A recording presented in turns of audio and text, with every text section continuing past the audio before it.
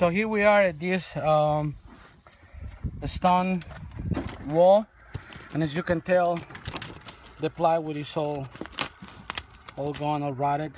Uh, we believe that the problem is coming from from the siding. Um, this corner right here doesn't have a kickout flashing diverter, so all of the water that is coming from the roof is going straight uh, to the wall. And since this uh, stone wall doesn't have any rain screen, uh, looks like we only have one layer of grade D paper. Uh, so as you, as you can tell, we have pretty big damage even to the to the two by fours. Um, I guess we're lucky here that um, we have the space for the stone, so we can we can replace the the plywood here, and we don't have to deal with this part of the wall.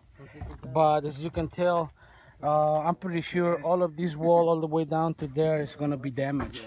And as I told you, and as I already explained to my customers, always, you know, somehow based on my experience, a stone, manufactured stone or veneer stone tends to hold moisture even worse than, than a stucco. As you can tell here, basically we don't have wood, as you can tell here. You see? So yeah, you if you have a, an stone uh, facade and you think that you have water issues, I suggest you to take care of them ASAP. Otherwise, it's gonna get worse and worse and worse. That's the that's the worst part about uh, stone failure is that it doesn't get any better. It gets worse and worse.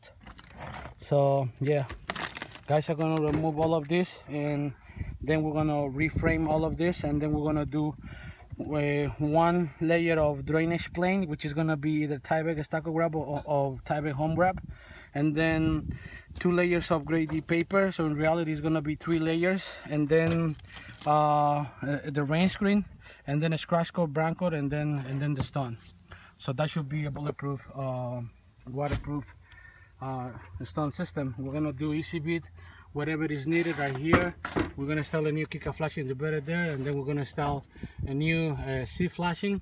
So basically we have to make sure that all of the stone is gonna be protected from upstairs all the way down to here